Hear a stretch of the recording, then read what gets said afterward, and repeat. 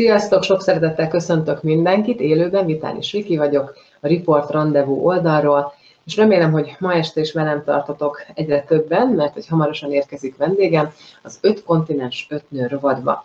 Ugye akik követtek, tudjátok, hogy hétről hétre, hónapról hónapra, hogy tudom szervezni a riportokat, ahogy érkeznek a jelentkezők, mindig jön ez az örömvideózás, mert hogy ez arról szól, hogy olyan hölgyeket várok, akik más kontinensre költöztek, vagy ott élnek, vagy ott éltek, és, és arról mesélnek, hogy nekik mit adott a kontinens, hogy ők hogyan élték meg mindezt, hogy nekik mi az az út, útjukon, a küldetésükbe, amihez hozzátett, elvett.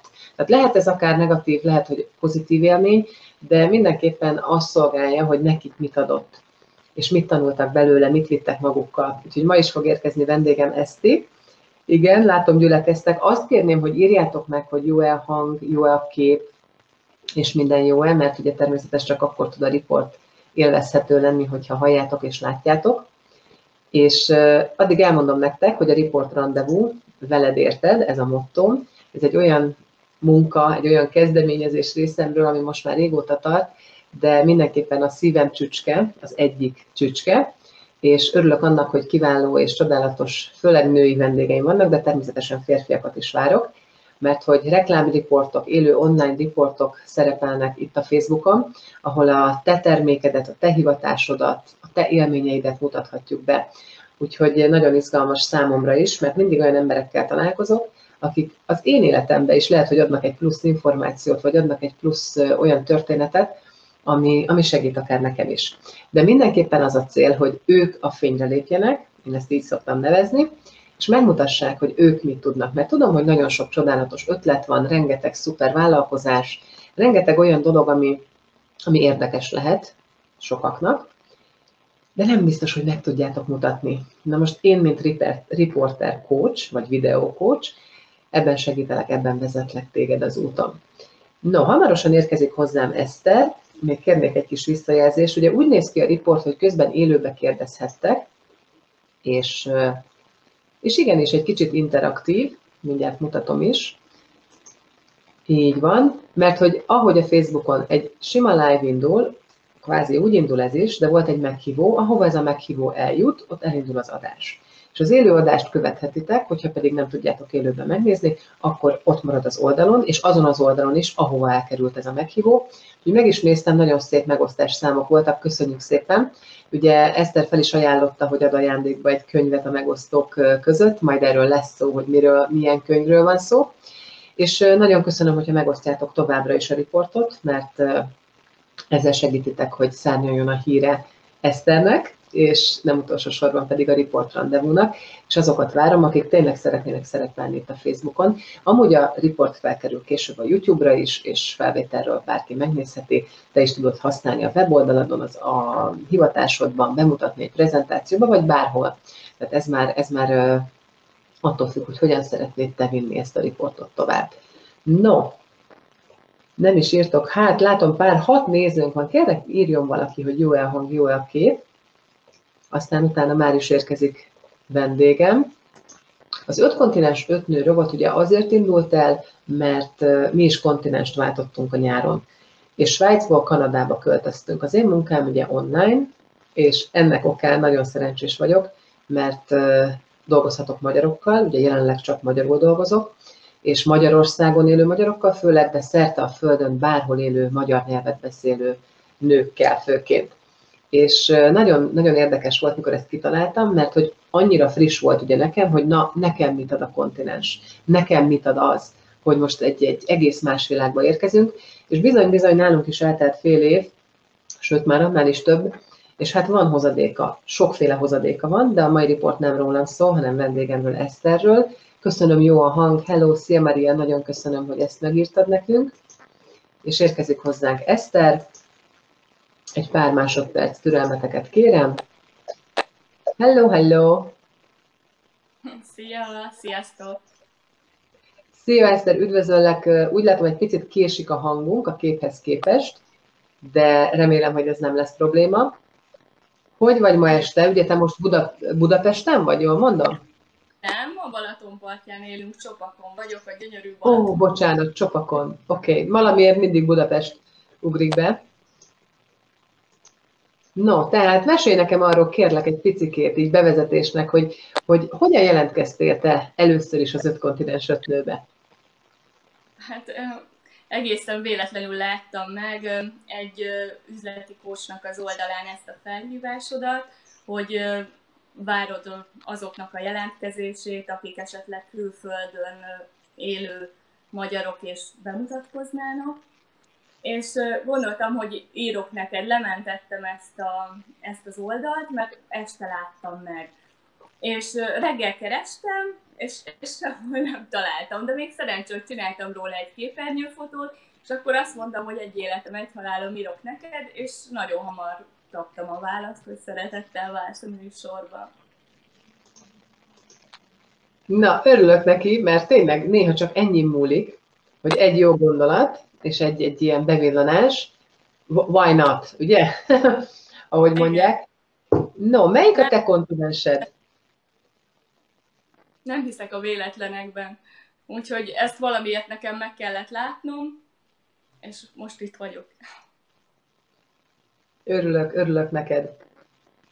Melyik a kontinens, amiről beszélünk a te esetedben? Ez az Egyesült Államok, és mégpedig Florida állam. Wow. Volt, volt szerencsém ott lenni egyszer Floridában, nem is olyan rég, úgyhogy egy picit tudom, hogy milyen feeling. Mesélj kérlek arról, hogy ugye most ott éltek csopokon, mikor, hol éltetek, hány évet írunk, egy picit, picit rakjuk rendbe ezt a képet. 2004-ben született meg az első gyermekünk, és a megszületése előtt már a férjemet hívták kutatni, ő csillagász, és ott a Floridai Egyetemre professzor, akkor ezt ő nem vállalta el, mert ugye novemberre vártuk a gyermekünket. Hát egy kicsit sajnálkoztunk, de hát így alakult, és erre februárban jött az újabb felkérés, hogy jó, akkor akarunk-e mégiscsak menni. És ugye ott álltunk az icipici szinte újszülött gyerekkel, és akkor azt mondtuk, hogy jó, ha ez így van, akkor akarunk, és akkor elmegyünk. És akkor eladtuk a budapesti lakásunkat, felszámoltunk gyakorlatilag mindent, és négy darab bőröndel, babakocsival és egy öt hónapos gyerekkel utaztunk Floridába. Ó, azért ez ilyen nagyon egyszerűnek hangzik, ahogy most ezt így elmondtad. Ekkor benned milyen, milyen gondolatok voltak? Hát először is ugye egy szülés után egy nő mindig kicsit megzuhan, meg, meg felborul minden, és akkor hát ezért gondold el, hogy ugye szülés, akkor fú, el kell költözni, pakold össze a lakást, add el a házadat, és pakolj össze úgy a cuccaidat hova, ide-oda, amoda, és hát egy félelem, az biztos, meg én utálok repülni, tehát, de nekem ez is stressz volt, de hát ugye ott volt a gyerek, ő, ő elterelte a gondolataimat, és, és így alakult. Belevágtunk ebbe a nagy kalandba, de nem bánom. Nem bánom, mert nagyon sokat adott. Hányat írunk ekkor? És itt egy gyermekről beszélünk, ugye? 2005-öt. Ekkor írunk. 2005 Igen. Oké. Okay. Ugye most három gyermeketek van már. Igen. Picit, picit mesélj erről, hogy akkor hány év volt az USA, aztán hogy értetek vissza, és akkor természetesen utána megyünk az USA-ba jobban. Jó. Hát ugye, mint mondtam, az öt és fél hónapos Nimroddal mentünk ki. Őről azt kell tudni, hogy ő egy lombik baba. Tehát rá 7 évet vártunk, hogy egyáltalán családdá válhassunk, gyermekünk lehessen. És nem is számítottunk arra, hogy, hogy egyszer csak a következő gyerek így betoppan az életünkbe. Őt az Egyesült Államokban szültem. É, hülyén hangzik, de azt se tudtam sokáig, hogy terhes vagyok. Tehát nem is, nem is gondoltam, hogy az vagyok. És amikor ez kiderült, pont egy ilyen utazáson voltunk, kívesztem, amikor mondta a férjem, hogy figyelj, valami veled nem stimmel, mert hát ennyire ideges nem láttalak mostanság, meg ugye azt vettem én észre, hogy akkor még szopott a kisfiam, és hogy folyamatosan kiütése van minden szokizás után. És akkor mondom a férjemnek, hogy hát nem lehet, hogy terhes vagyok. Azt mondja, hogy hát te nem csak szép lány, ugye? De azért elmegyünk a Tesco gazdaságosba, és vettünk egy, egy ilyen két teszt volt egy gazdaságos kiszerelésbe, bementem a hotelba, mosdóba megcsináltam, fú, volt a két csík. De jó Isten, megyek ki a férjemhez, figyelj két csík. Mert hogy miért kellett ilyen gazdaságos, miért nem valami normális? De aztán később kénytelen volt elhinni, mert ugye minden tünet arra utalt, hogy igen, baba lesz, és akkor jött a következő, hogy úristen, a biztosítás. Hogy kiterjed a mi egészségbiztosításunk arra, hogy én ott gyermeket hozzak a világra, és ugye kivesztem voltunk, mi pedig Gainesville-ben éltünk, hát ez egy minimum egy hat órás autóút, és hazamentünk, a férjem első dolga volt, hogy föltúrta az összes papírokat, hogy akkor most mi lesz, és hát már volt, mert igen, kiterjedt a, a szülésre a biztosításunk, így kicsit megnyugodhattunk, és a második gyermek ott született Floridában. Majd hazaköltöztünk 2007-ben, és a kislányunk pedig már itthon született 2009-ben, tehát két fiú után egy kislány. Na most akkor, ha jól értem, akkor a középső gyermek valójában ő ott akart megszületni, mert azért ez valóban egy csoda kategória. Ha te úgy élted meg, hogy neked nem lehet természetes úton babád, akkor, akkor valami történt. Ezt azóta megfejtetted, hogy mi történt? Igazából ezen, ezen annyira nem gondolkodtam, de Noah elég különleges gyerek, tehát ő színessé teszi az életünket, neki tényleg meg kellett születnie, illetve nekem meg kellett azt tapasztalnom, hogy milyen egy, egy életet világra hozni külföldön. Mert igazából az, hogy, hogy szülőhaza, az nem csak a gyereknek számít, hanem a, magának a szülőnőnek, aki ott szül. Mert úgy gondolom, hogy magyar vagyok, magyarságot megélem, de mégis az, hogy én külföldön adtam életet egy gyermeknek, valahogy engem ahhoz a földhöz köt. És ezt nagyon jól éreztem most 2017-ben, amikor egy három hetes körúton ellátogattunk a volt otthonunkba, találkoztunk a barátainkkal, meg megmutattuk Noának, hogy hol született, hol növekedett, és nagyon érdekes érzés. Tehát ez szerintem ez, ez, ez azt tudja, aki, aki tényleg adott életet külföldön, és, és biztos, hogy így van, mert annak idején én olvastam egy szingapúri, szingapúrban élő magyar hölgyről is, aki ott kint szült, és ugyanezeket az érzéseket írta le, mint ami nekem ott volt. Igen, ez nagyon-nagyon jó, hogy ezt most elmondtad, és közben borsózik mindenem. Olyan fantasztikus energia, mert hogy ugye az a kérdése a műsornak, hogy mit adott nekem a kontinens, mit adott neked, és adott egy csodát, egy babát, akit nem tudtad, hogy érkezhet. Tehát fantasztikus, tényleg. Tényleg, ő ott és így akart megszületni. Ugye nekem is született külföldön babám, Svájcba, a harmadik, hogy én is ah, tudom, hogy ez milyen érzés. Igen, igen, igen, és látjuk közben a képet, ahol, amikor ő született, ugye? Igen. Nagyon jó érzés visszanézni ezeket, neked is gondolom. Igen, ez a kórházban készült, itt, itt egy pár órás. És hát gyakorlatilag majdnem végig velünk volt a kisfiunk, hogy azt azért azt azért gondolhatja, aki így hallgatja az interjút, hogy mi teljesen egyedül voltunk, mint, a, mint az ujjam, és, és nem nagyon tudtuk megoldani, hogy tetsen nagy szülő senki se, hogy kijöjjön. Annyi volt, hogy a, végig velünk volt, és amikor mondta a doktornő, hogy nem sokára megszületik a baba, akkor a férjem gyorsan átvitte egy barátunkhoz, de alig ért vissza, és már mehetett érte újra, hogy akkor nézzük meg az öcsét. De hát itt látszik a nívódó, hogy azért nagyon szemlélgeti, hogy mi ez a csomag itt. De igen. Jó, Wow. Hát igen, ez, ez is egy külön téma, akkor beszélhetünk is erről, hogy nektek ugye két évről beszélünk, Ha innen nézem, ez egy életben tűnhet olyan kicsinek. De ha a másik oldalról nézem, akkor nagyon nagy időintervallum a ti életetekbe. Mik voltak azok, amik úgy most elsőre eszedbe jutnak? Nehézségek. Beszéljünk először erről, jó? Ami tényleg kihívás volt akkor és ott. Igen, ez, hogy igazából mi ott váltunk szülővé. Tehát ugye, amit mondtam, hogy, hogy nem voltak nagyszülők, nem volt segítség, ugye az időeltolódás miatt, ha valami probléma volt, én azt nem, nem tudtam rögtön tőlük megkérdezni, ezért nekem nagyon, nagyon fel kellett nőnöm ehhez a feladathoz.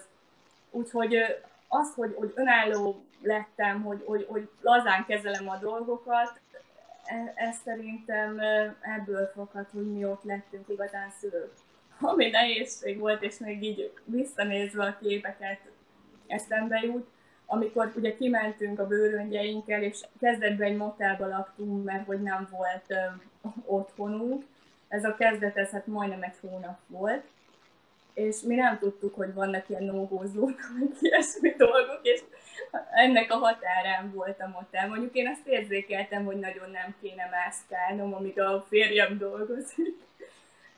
De hát az, az azért kemény volt. Egy kis motelszobában egy öt és fél hónapos örök mozgóval bezárkózva várni, hogy a férjem hazaérjen az egyetemről. Wow, hú, azért az kemény, az kemény. Ért, érteket titeket, ugye küldtél egy térképet, mert mindjárt megpróbálom megkeresni, de pontosan hol voltatok, és hogyan tudtatok aztán kapcsolatokat teremteni, kifele nyitni, barátokat szerezni, hogy indult ez el? Gainesville-ben laktunk, itt van a, a University of Florida, tehát a Floridai Egyetem. Ez a Florida északi részén van és középen, tehát mindkét a mexikói öböltől is, és az óceánparttól is két-két órára. De bejártunk gyakorlatilag az egészet, tehát ha valaki bejött hozzánk, szerintem minket annyira sajnáltak, mert nekünk gyakorlatilag nem volt bútorunk. Tehát volt egy ilyen nagyobb szivac, amin ketten aludtunk, a gyereknek volt egy baba, egy etetőszék, volt egy étkező bútor, egy ilyen összecsukható asztal, amin a férjemnek a laptopja volt, meg egy kempingszék, gyakorlatilag ennyi, mert mi ö, utazásra költöttünk. Tehát ne, amikor haza, jöttünk, akkor még csodálkoztak is a, a vámosok, hogy se egy autó, se egy tévé, semmi, nem, mi az utazásra költöttünk, igen. Igen. Ha jól látom, itt, itt volt az esküvőtök is? Nem, ez, ez a 2017, itt a... Ja, ez egy későbbi kép. Bocsánat, ezt még akkor a nézőknek nem mutatom, mert nem akarok szaladni az időbe. Közben keresem a képeket, de nem találom még a, azt a térképet, de hát nagyjából mindenki látja, hogy Florida hogy, hogy helyezkedik el, ugye? Um, ugye itt a munka miatt mentetek. Igen. Mennyire volt nehézség ilyen téren, és uh, nyilván most a férjed nincs itt, de amit elmondhatsz erről, ez hogyan alakult, és a családra hogy hatott? ő, ő úgy, ugye csillagász, tehát egy kutató. A munkaviszonya gyakorlatilag itt Magyarországon nem szűnt meg, csak fizetés nélküli szabadságon volt. Őt egy csillagász professzor hívta ki az egyetemre kutatni, mert hogy hasonló volt a témájuk. Tehát ha így nézem, akkor a hazatérés így könnyű volt. Ami nehézség volt, hogy ugye egy magyar ember számára meghallott, hogy mit, mennyi dollár fogsz ott, ott kint keresni, akkor azt gondolod, hogy fú, itt a Kánaán. Majd kimész, és akkor rájössz, hogy neked ott lakást kell bérelni, gyakorlatilag abban a városban tömegközlekedés alig, mindenki autóval, maximum biciklivel közlekedik, akkor úgy kezdesz rájönni, hogy ez a pénz ez nem biztos, hogy mindenre elég. Tehát két hetente volt fizetés, az egyik, az első két hét az abszolút elment a, a lakást bérlésre és a rezsire. És azért ott vannak kemény szabályok, mert például ugye mi szerettünk volna kisebb lakásba menni, egy, egy szobásba, de nem engedték, mert mivel, mivel gyereked van, ezért minimum a two bedroomos, tehát a két, két hálószobás apartmant kell választanod.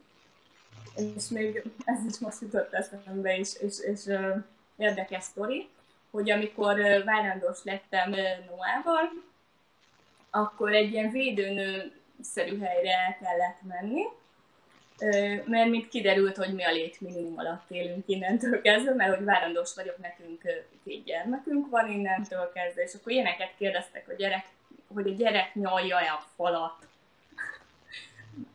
meg ilyesmi. Aztán kiderült, hogy valószínűleg ezt azért, hogy, hogy nincs a kálcium hiánya, vagy valami, de ha látjátok a képeket, tehát egy jó lévő gyerek, tehát igazából ott a védőnő is már, már nevetett a végén.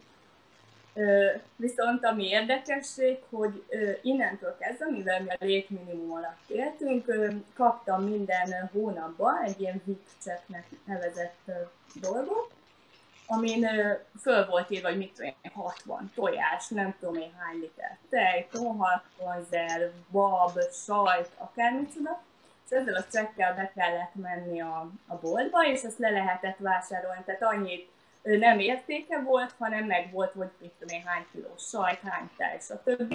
Úgyhogy gyakorlatilag onnantól kezdve barátainkat is mi lehetünk el teljel tojással sajta, mert egyszerűen annyit képtelenség volt megenni amennyit ők erre a csekre nekünk fölírtak.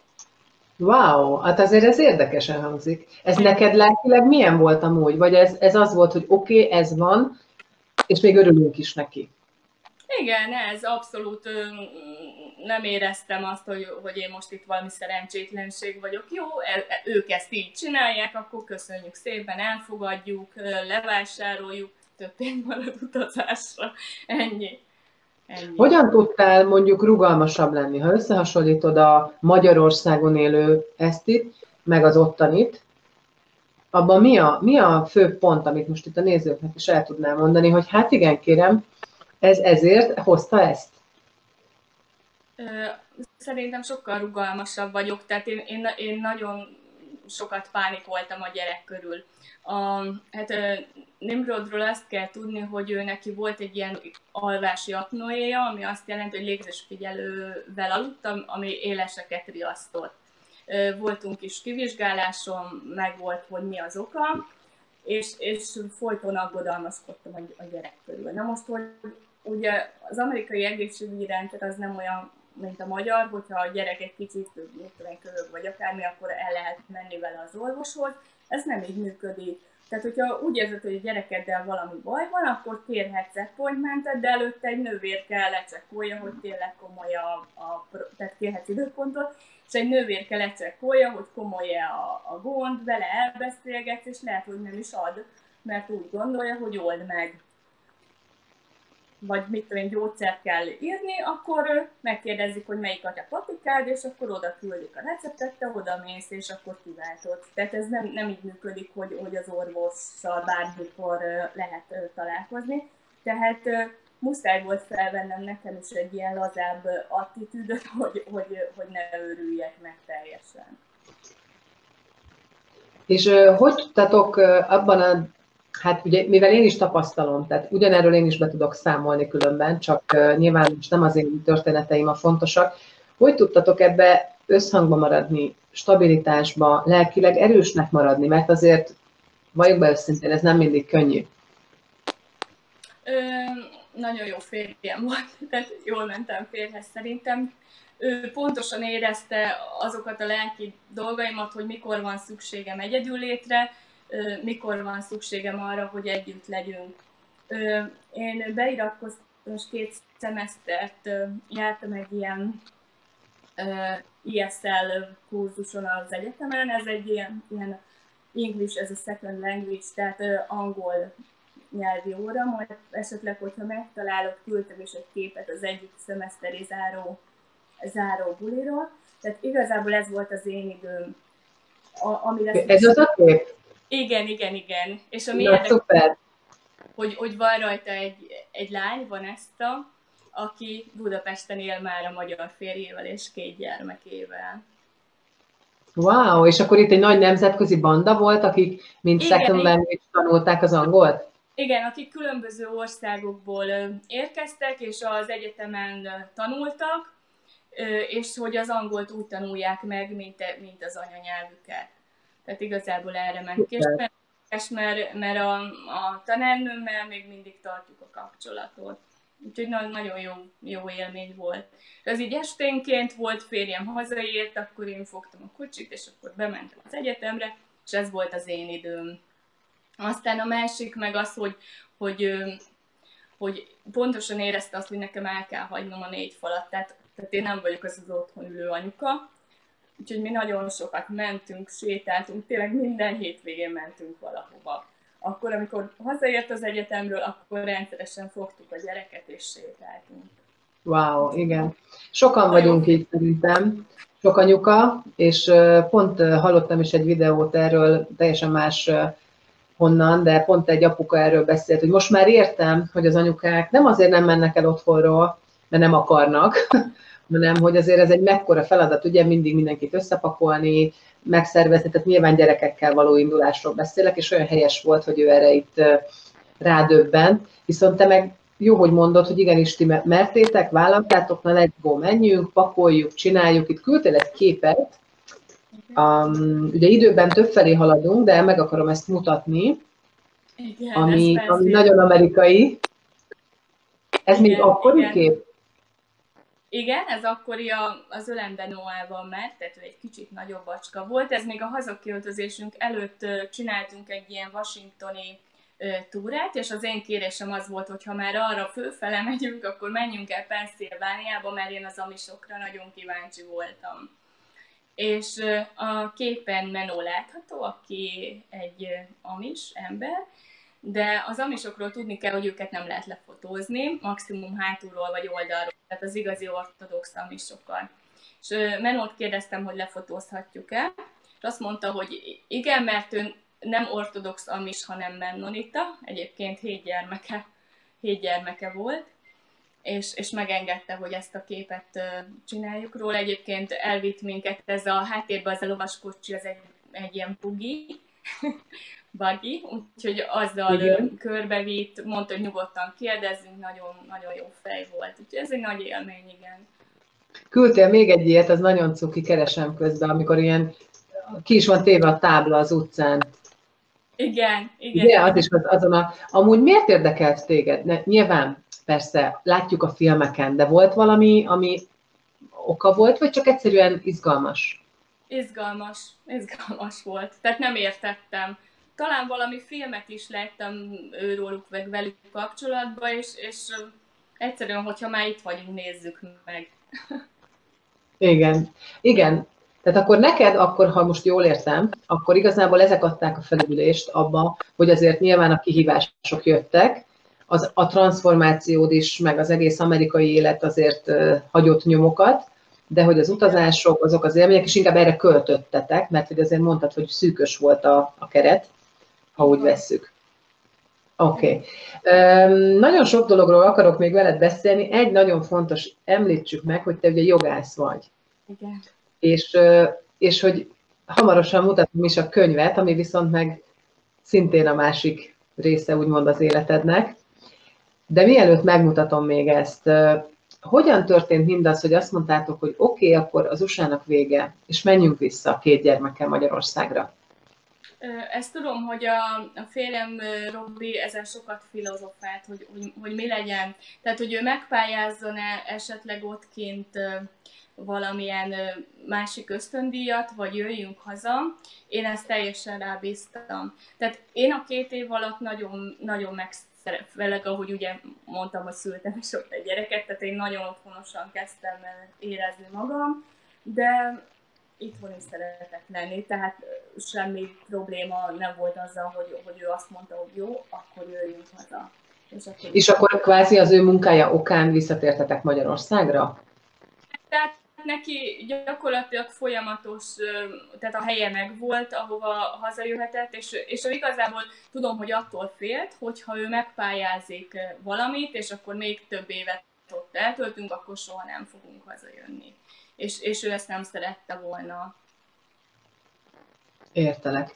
Értelek. Na és akkor hogy érkezünk el a harmadik gyermekhez? Kicsit haladjunk az időbe, jó? Mutatom is majd közben, hogy mondod a képet a családról. Jó, a harmadik gyerek ő 2009-ben született, már itthon, ő egy kislány. Ö, őt én szerettem volna. Igazából... most már nagyobb, nagyobb korában mutatom éppen, de mindjárt megkeresem ezt a családi képet. Hogyan jött nálad? Mert ugye onnan indulunk, hogy lombik, sokat Igen. várunk, van egy történet, aztán jön egy meglepetés, és aztán utána mi volt ezt? És utána az, az volt, hogy ugye két fiú megvan, én nagyon szerettem volna egy kislányt. Tehát én úgy érzem, hogy, hogy a Ejlenét, őt én teremtettem. Én teremtettem a gondolataimmal, és pontosan olyan, amilyennek én szerettem volna. Ugye férjemnek mondtam, hogy, és éreztem is, hogy ahogy ülünk négyen a, a reggeliző, aztán, hogy valaki még hiányzik. És akkor ugye a férjem azt wow. mondta, hogy ilyen, ilyen mákunk nem lehet, hogy, hogy csak így leakasztunk egy újabb babát, ugye a 7 év lombik után, a Noah biztos csak egy csodababa volt. Én... az csak, csak tudod, az csak úgy az amerikai álom. Igen. uh-huh. Igen. És, és akkor mondta, hogy jó, próbáljuk meg, tehát mit veszíthetünk, ugye? Szerintem ő nem, nem bízott benne, hogy ez ilyen gyorsan összejön, és akkor a következő hónapban már ő kétsikos volt a teszt, és... és wow! Igen, róla most nincsen kiskori kép, de már itt vagytok öten. Na most mondjuk el, most hány évesek akkor a gyerkőcök?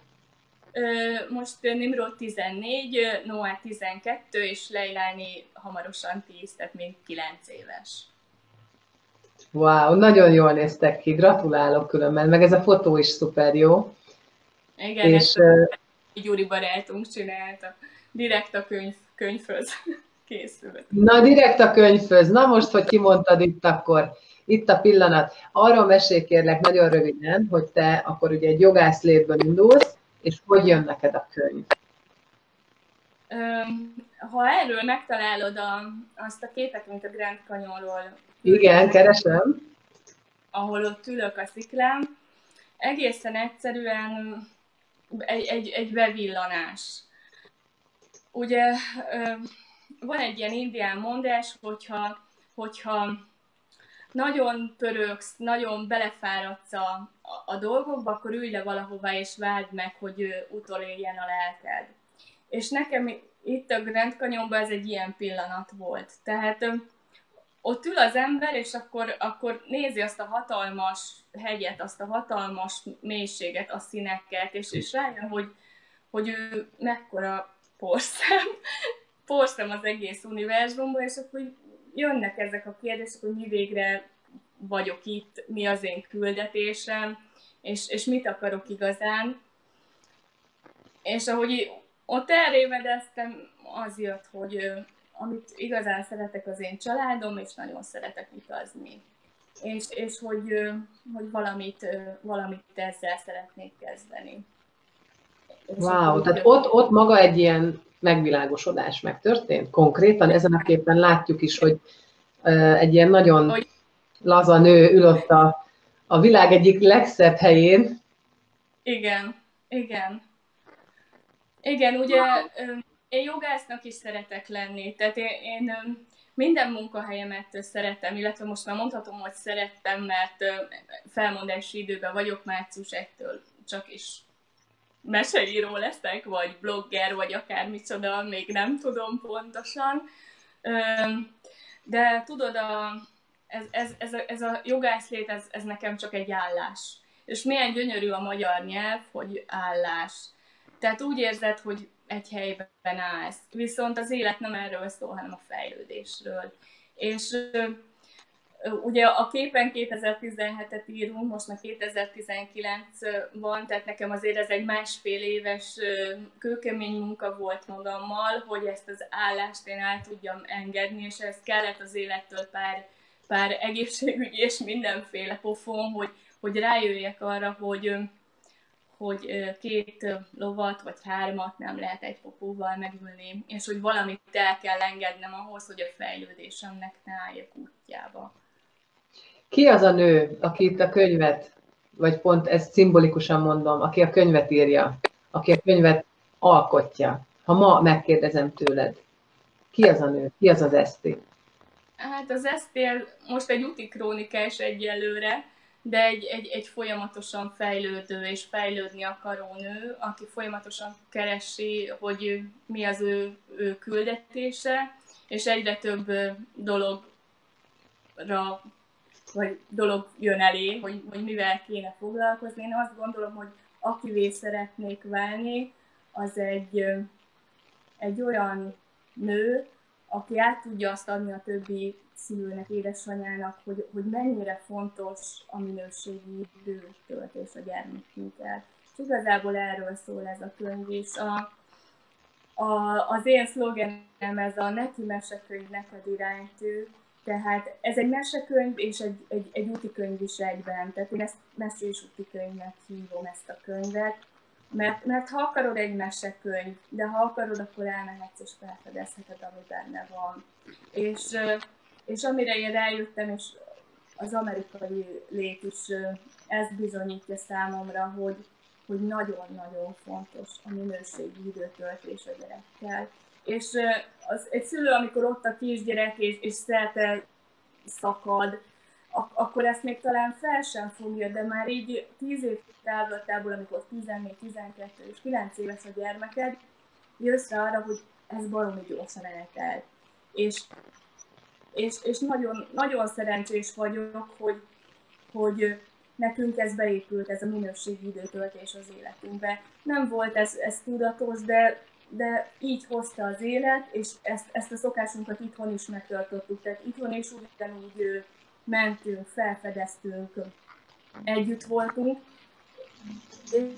És hogyha egy valamit nem tesztem a szülőségbe, az ez, hogy nagyon nyitottak a gyerekeim, nagyon érdeklődőek, és, és ezt, ezt az iskolába is észreveszik rajtuk, és ez, ez mindennek a hozadéka, hogy, hogy tudtunk minőségidőt együtt tölteni, és nekem nem volt tudatos, de én szeretném ezt tudatosítani a, a, a szülőkben, hogy, hogy ez nem fontos. Valahogy szerintem ez az én utam, tehát ez, ez a fejlődésem útja, hogy megtaláljam azt, hogy, hogy ezt, ezt hogyan tudnám.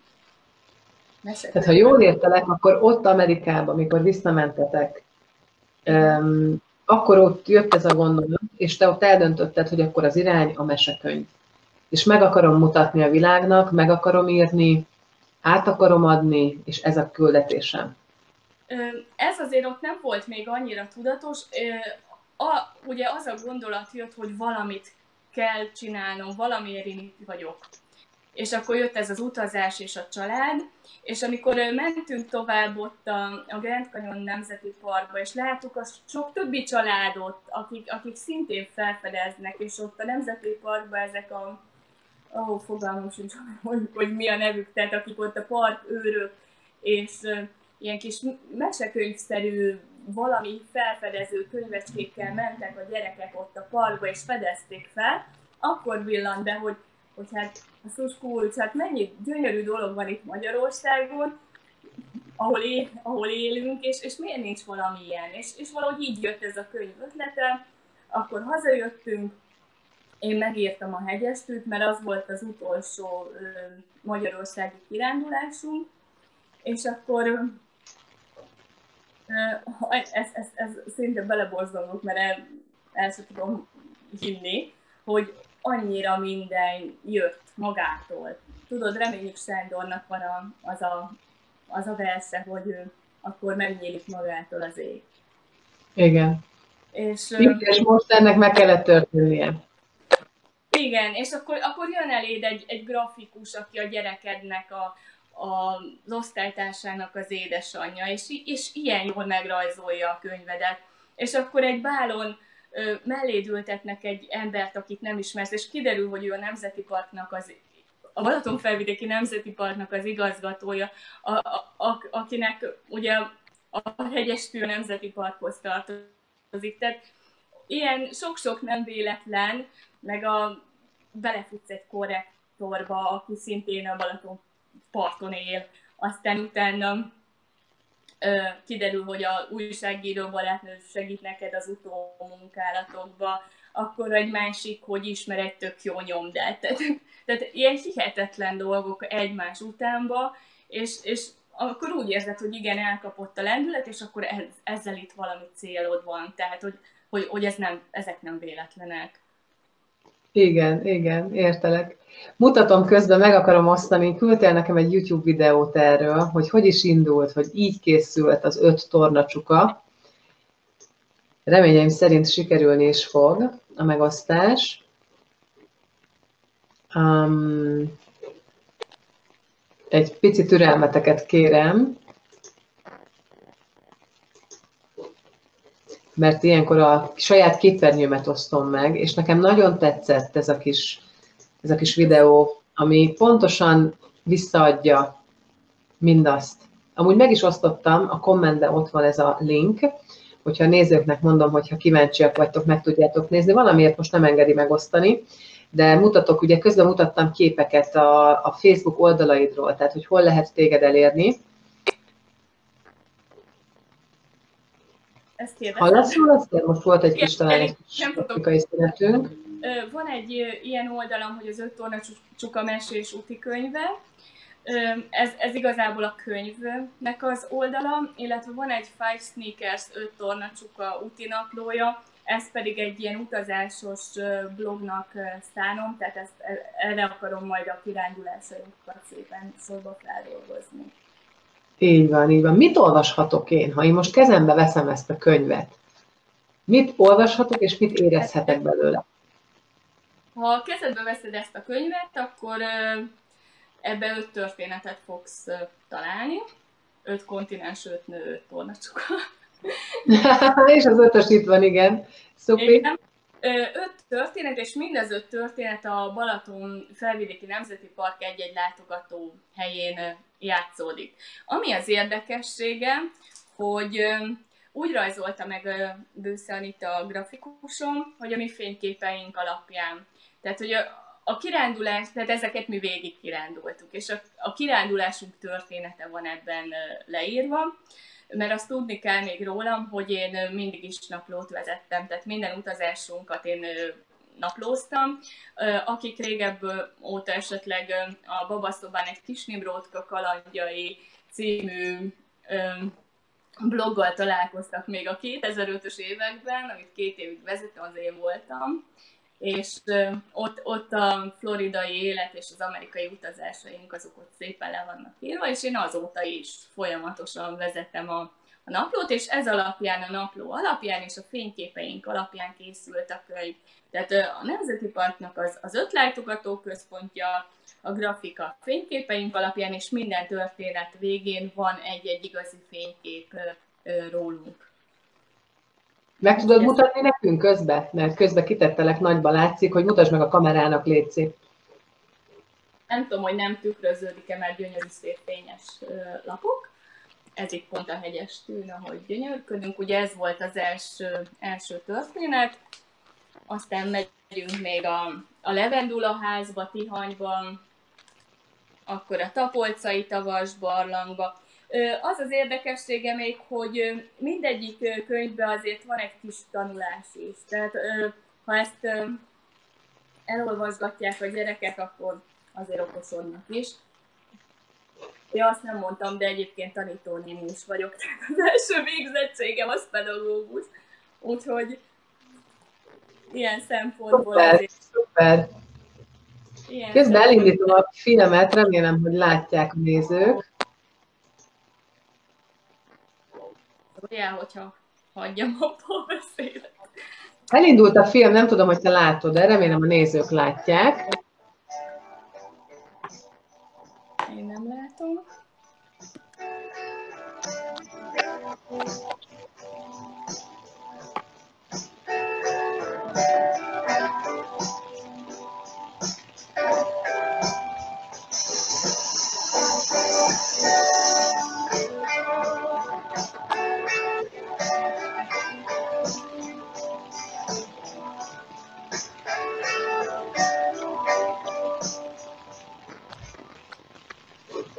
No hát ezt nem tudom pontosan, hogy sikerült-e, én azért igyekeztem megmutatni, most téged látunk már, úgyhogy újra tudod mutatni tovább a könyvet.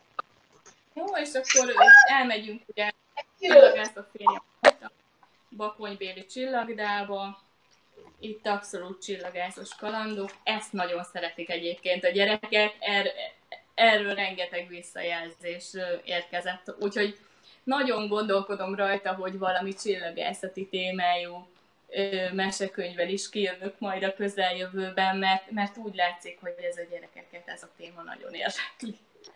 Wow, közben írta egy nézőnk, hogy nem látszott sajnos. Nézzétek meg, megtettem a, a hozzászólásba, jó? Ott lesz a film, tényleg nagyon kis cuki, Köszönöm. és nagyon, nagyon családias, tehát hogy tényleg ott van az a feeling, amit próbáltatok átadni, úgyhogy sikerült is. Mi az, amit neked adott? És akkor most fordítsuk meg az, hogy visszamentél. Tehát akkor magyarul azért, ha jól értem, ha nem költöttetek volna vissza, akkor lehet, hogy ez mind nem történik meg? Hát ez egy jó kérdés, Viki. Gondolkodtál ezen?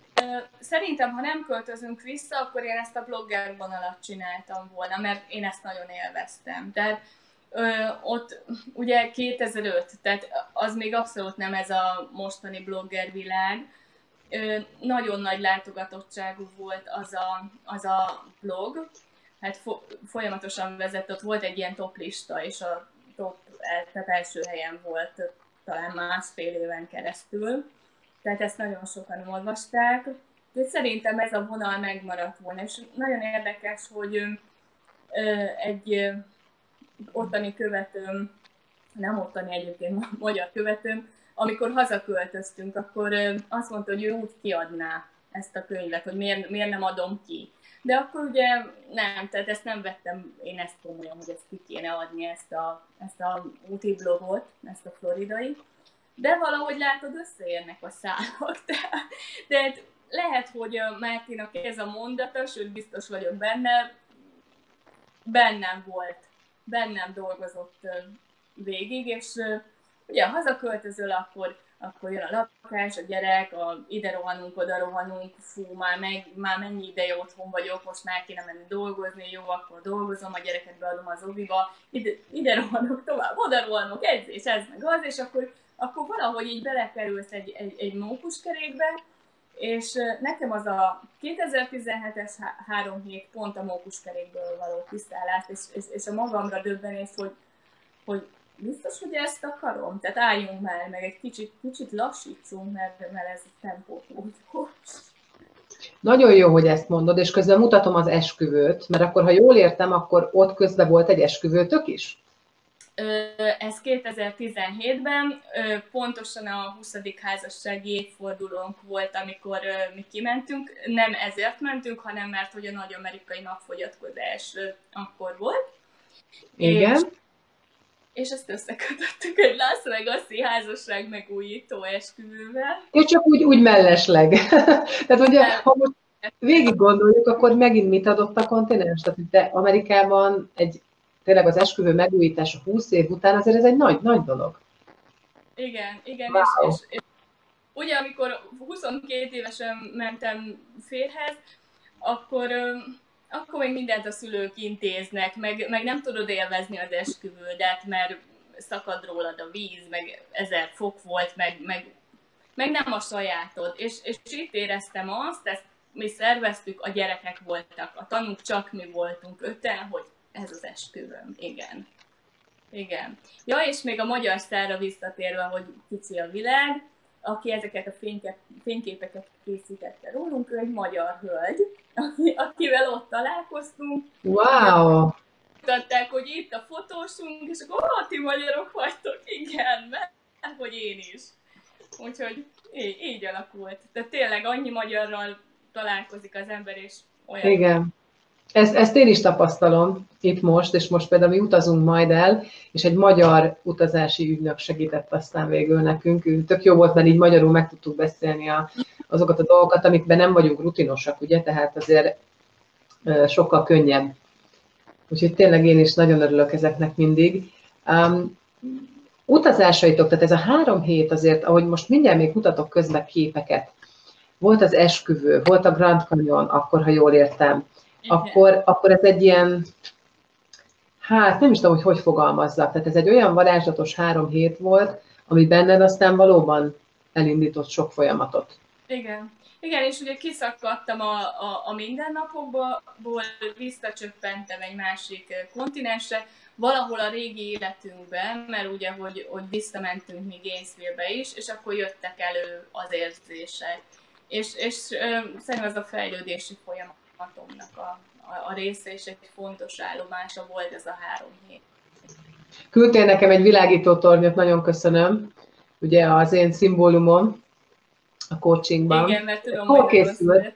úgyhogy ezt neked. Köszönöm szépen. Hol készítettétek ezt? Ez Szent Augustinban van. Egyébként nagyon érdemes oda ellátogatni, egy, egy gyönyörű kisváros, és gyönyörű az óceánpartja. Ez, ez nem tudom, hogy most látják-e a nézők, Igen. ez Hemingway-nek a, az otthona kívesztem. Hát gondoltam, ha már írónak titulálom magam, akkor legyen egy másik íróháza is, a, vagy otthona is a, a képek között. Egyébként Hemingwayről érdekesség, hogy neki hatújú macskái voltak.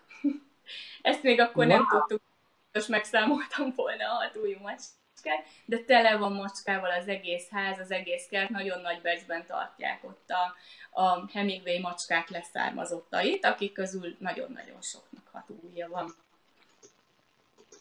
Azt a mindenit. Na ezt pedig nem is tudtam, és nagyon örülök, mikor mutat, hoztál még ilyen képeket barátokról?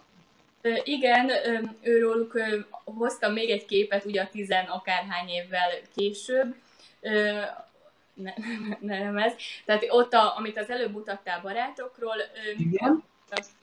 mi egy, jártunk egy játszócsoportba, és igazából ugye a, a szociális hálom ott kezdett kialakulni, tehát hogy anyukákkal megismerkedtem, és itt mellettem egy, egy, egy kolumbiai, kubai anyuka, Eszi, és a kislányuk Hana, akivel még, akikkel még most is tartjuk a kapcsolatot, tehát ők nagyon nagy cimbik voltak a Nimroddal. De jó, közben keresem azt, tudom melyik képre gondolsz, amikor tíz év múlva visszamentetek, ez az Igen. szerintem. Igen, igen, ez az. Hát kicsit megnőttünk, tehát... Kicsit meg. igen, Minden... igen, de jó. Mindenhogyan megnőttünk. Igen, és most is tartjuk velük a kapcsolatot, és még másokkal is, úgyhogy, úgyhogy nagyon jó. Jó érzés visszanézni ezt a képet. De jó. És ha azt mondanám neked, hogy, hogy visszaköltöznél, visszaköltözhetsz az USA-ba, akkor, akkor mit mondanál rá, hogy mennél, maradnál? Mi most az Eszti szívében mi él? Igazából nagyon szívesen elmennék, nem végleg. Tehát uh-huh. egy-két évre, és szerintem a gyerekeknek is nagyon fontos lenne. Mert nekem világlátásba sokat adott. Tehát én is hajlamos voltam arra, hogy feketén-fehéren szemléljem a, a, a dolgokat, de van a szürke. és a szürkének tudjuk, hogy legalább 50 árnyalata van. Igen, már itt tartunk. Nekem ezt Amerika abszolút, tehát én sokkal nyitottabb lettem, elfogadóbb, empatikusabb, és, és igen, jó lenne, hogyha, hogyha mindenki megtehetné, hogy akár egy-két évet belecsöppenne egy másik kultúrába, átélni azt, hogy milyen, milyen egy más kultúrába élni idegenként, szerintem nagyon sokat ad a személyiségfejlődéshez. Tehát, hogyha ha felajánlanák, hogy elmehetünk, akkor gyerekekkel igen. Ők mondjuk nem örülnek. De jó. De ez különben pont az, amit megfogalmaztál az elején, ugye? Mert azt mondtad, hogy ami neked nagyon fontos érték, ez a család és az utazás. Igen. És akkor miért ne? Lehetne, élhetünk akárhol egy ideig itt, egy ideig ott, a bázis ugye otthon, tehát azért ebben sok lehetőség van, ha vele gondolunk. Igen, igen, meglátjuk, mit hoz az élet, Viki. Meglátjuk. Jaj, de jó. Mutatom a weblapodat is, ez különben a weblapodra egy fotó, sokkal könnyebb így a fotókat mutatnom, valamiért a megosztás nem akar menni. Látogassatok el, kedves nézők, ide, és mutattál nekem egy képet, amit most nem tudok megmutatni, egy csomagtartó tele van a második kiadással már, ugye? Az még a volt, a második kiadás olyan jó fej volt a nyomda, hogy kihozták házhoz, mert ugye férjem az nagyon sokan dolgozik továbbra is, úgyhogy ő reggeltől estig gyakorlatilag ő Budapesten dolgozik a Csillagászati Kutatóintézetben, úgyhogy kihozták, de igen, itt a második kiadás, a második ezres ez, ezer könyv van, úgyhogy tudok küldeni, hogyha valaki Wow, hát akkor így a weboldalon keresztül meg lehet rendelni tőled. Igen, de egyébként annyira jó együttműködések születtek, ugye, akit említettem, Puskás Zoltán, aki mellé véletlen keveredtem egy a bálba, ő a Balatonfelvidéki Nemzeti Park igazgatója, ők egyből le is csaptak a könyvre, úgyhogy a Nemzeti Park látogatóközpontjaiban kapható. Akkor megismertem Ferenc Monikát, a Satsuma Webáruháznak a, az egyik tulajdonosát, tehát hogyha valaki utazási eszközökkel szeretné összekombinálni a könyv vásárlását, akkor, akkor ott is megteheti. Akkor itt a Balaton felvidékén pár ilyen gasztrohelyen szintén, szintén kapható, és egyre-egyre többben jelentkeznek be együttműködésre. Például képzeld el legutóbb kiderült, hogy a Mesepont webáruháznak a, a tulajdonosa pont itt van Csopakon egy albérletbe, és akkor a, a legutóbbi együttműködés ez például azt, tehát a Mesepont bevárulásban, ha szeretnél venni játékot, minőségi játékot, akkor mellé a minőségi könyv. Wow! Egyre, egyre, egyre több helyen, sőt most már könyvesboltba is, mert ugye én magánkiadó vagyok, tehát hogy én nem adtam oda kiadónak a könyvemet, én vagyok a saját könyvem kiadója, tehát abszolút végigcsináltam az egész folyamatot, ez, ez is egy nagyon jó, tehát nagyon sokat tanultam belőle, és most is így csinál, tehát így fogom a következőt is. Tehát jó volt, jó, jó, jó tanulás volt. És most például egy könyvesbolt is megkeresett, tehát most már Budapesten az Anima könyvesbolt hálózataiban is, is meg lehet találni a könyvet. Tehát kinyílik a világ, egyre, egyre, egyre többen jelentkeznek be, hogy szeretnék szeretnék forgalmazni, és, és én nagyon boldog vagyok tőle. Tehát, De jó, ugye, nagyon jó hallgatni téged. És nagyon jó hallgatni azt is, hogy te így tudsz erről beszélni, a sikeredről, és hogy igenis anyukák, nők bátran merjünk beszélni a sikereinkről. És persze az út, ami oda vezetett, ahogy te is mondtad, nem mindig volt könnyű. De hogy nem. most 10 év távlatából azért ez tényleg... Igen. Igen, egyébként a, a, a kis zsákutcák is kellenek, és, és visznek tovább.